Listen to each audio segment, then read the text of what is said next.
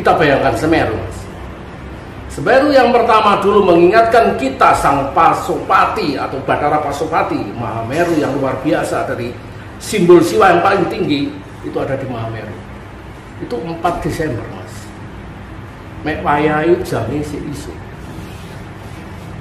Kemarin yang tidak disangka-sangka saya matur juga meluncak dua restu seminggu sebelumnya saya ke Arjuna orang-orang juga memikirkan udah nih koyong ini Ki. kenapa kenapa kenapa? Saya di WA di YouTube saya ya wis dongakno wae lah. Ini ada tugas yang mungkin dari perasaan desa ya saya harus tugas di mana saya nanti kasih saya Arjuna Mas. Alhamdulillah semuanya syukur kepada Gusti yang ini saya cuma 15 jam perjalanan dari puncak megang bendera sampai turun lagi. Dari sembilan pos-pos yang saya lalu sepilar biasa semua sampai sendang Dewi Kunti itu semua saya lalui sampai turun lagi hmm. seminggunya terjadi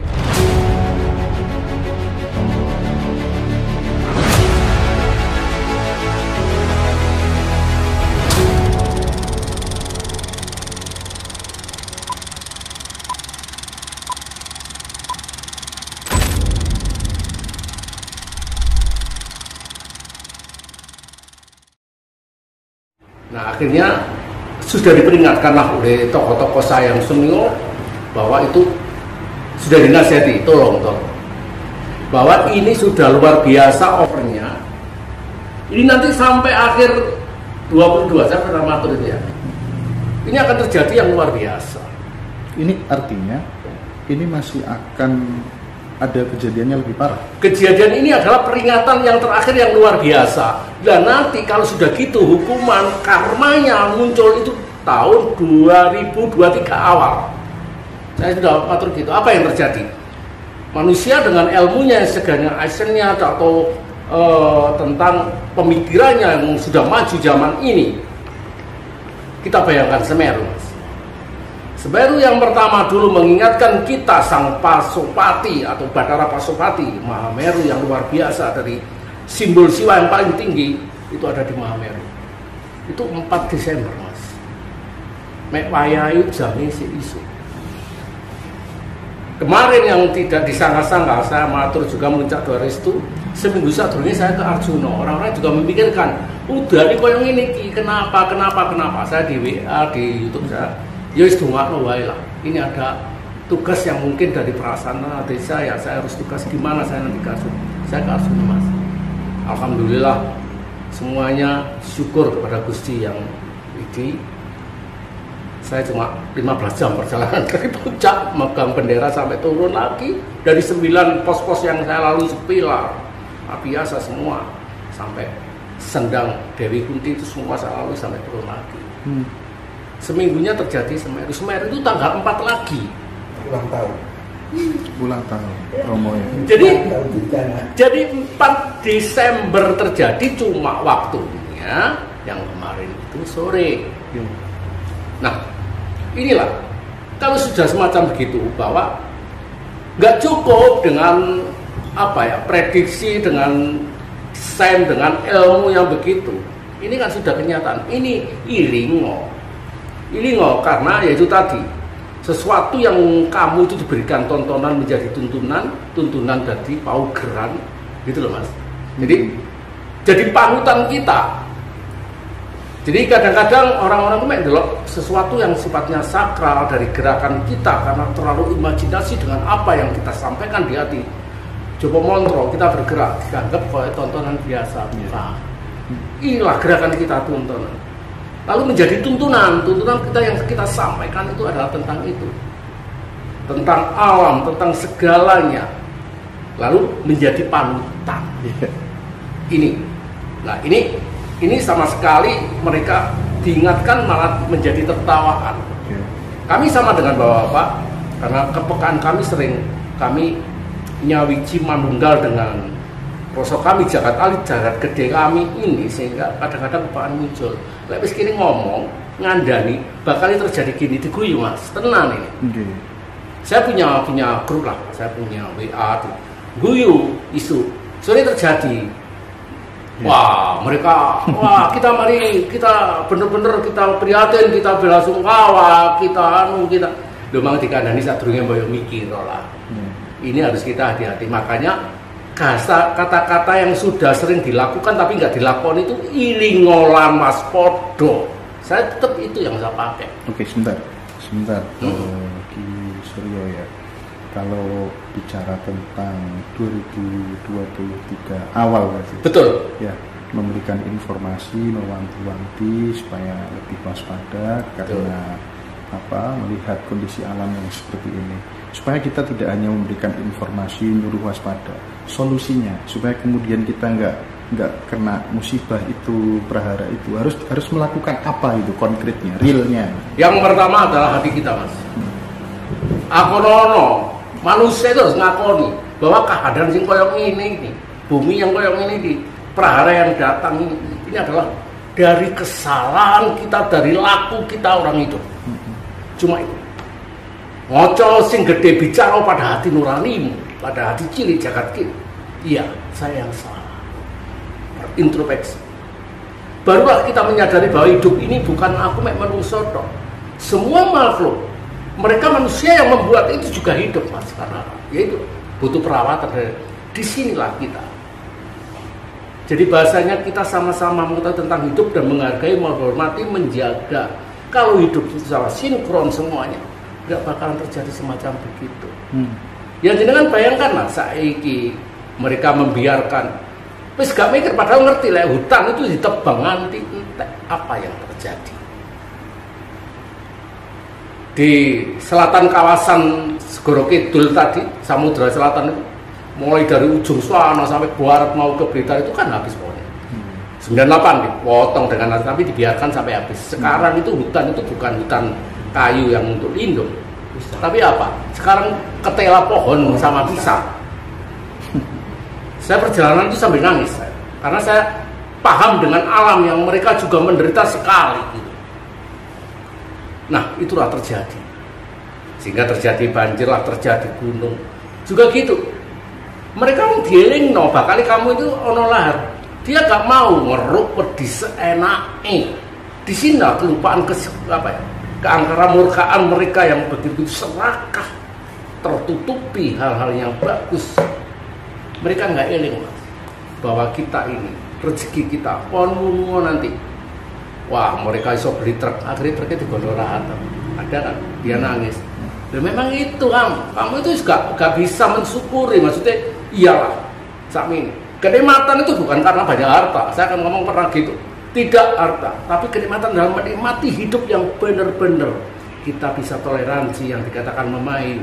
Memayu itu menghidupkan kehidupan yang indah bahagia. Yang tonggo api kita bisa tanduran di rumah tandurannya di rumah mas dengan bagus dengan hati nurani. Juga subur lah. Gitu loh. Maksudnya gitu kenapa gitu ya? Ya saya mengatakan seperti pertanian dulu mereka itu ati garap sawah itu. Tidak garap ujuk-ujuk dengan begitu. Dia nuwun sewu bagaimana tanah?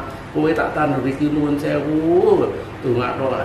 Dengan cara-cara mereka pakai eh, sajen. Nah, sajen ini adalah perantara yang dikatakan oleh beliau senior saya itu bahwa itu bukan sebagai apa ya untuk menjadi bukan itu sarana untuk konsentrasi. Nyawijinya pikiran saya itu adalah kepada sang yang vertikalnya mas. Cuma ada sarana gitu. Ada dupa yang wangi adalah harum wangi Hmm. adalah merangsangkan kita untuk konsentrasi dan kita benar-benar. Nah di sinilah sehingga terus digarap tanai ada lagi sawah itu.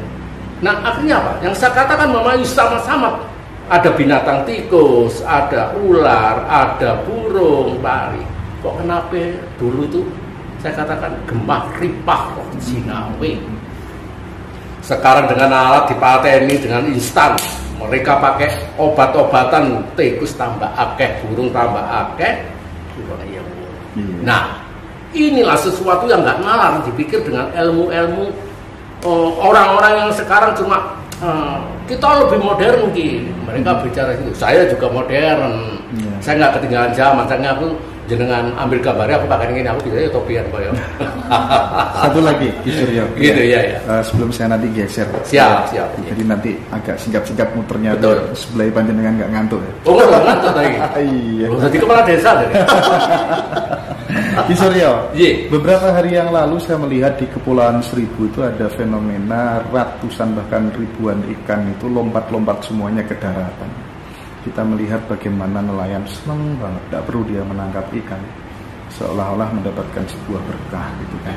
Tapi kemudian eh, banyak beberapa pihak ya yang kemudian hati-hati, jangan-jangan nanti bisa jadi itu kode alam menjadi musibah gitu. menurut pandangan, spiritual panjenengan gitu pandangan batin panjenengan itu sebuah fenomena biasa. Ataukah kemudian ada sesuatu yang harus kita antisipasi terhadap fenomena yang seperti itu? Sesuatu. Saya yang wajar dalam sesuatu yang kalau tidak wajar keanehan yang terjadi ikan kenapa saya muncul itu bagi saya adalah saya berpikir wajar dulu ya. Itu adalah bukan hal yang merupakan saya lebih bangga lebih senang. Ini rezeki yang gak hmm. saya harus mencari kenapa? Kok nggak wajar? Kenapa mereka tidak kerasan istilahnya? Hmm. mereka kenapa kok rasanya nggak enak saya hidup? Saya akan lompat tidak tahulah yang saya lompat itu lebih berbahaya enggak. tapi saya lebih lebih nyaman kalau saya keluar dari tempat saya yang enak.